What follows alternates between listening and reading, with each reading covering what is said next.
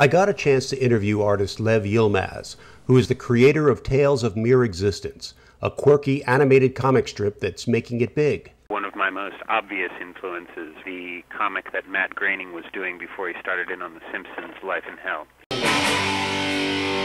It's always going to be from a guy's point of view. Uh, at the same time, I think that, uh, weirdly enough, I think that the audience is actually leans heavier towards women. Primary pieces of source material were a um, an old uh, movie that was done, I believe, in the 50s. Uh, 56, Mystery Picasso. That's it.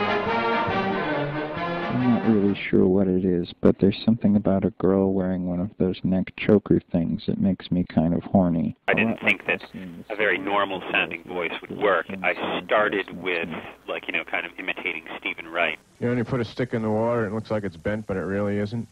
That's why I don't take baths. How to Break Up with Your Girlfriend in 64 Easy Steps. The series really gathered up a lot of uh, steam with a piece called uh, How to Break Up with Your Girlfriend in 64 Easy Steps. Phase 2 The Second Childhood. Feeling of Relief. Are these truly about your family, or th- is this sort of a fantasy family? It's very close. I mean, like that with with all of the stories, I take a few liberties here and there. Do they like being part of these? Well, the one thing that happens is that, I mean, particularly with my mom, is like you know that uh, that we'll be talking about something, and then she'll kind of like stop and say, "This isn't going to end up in a video."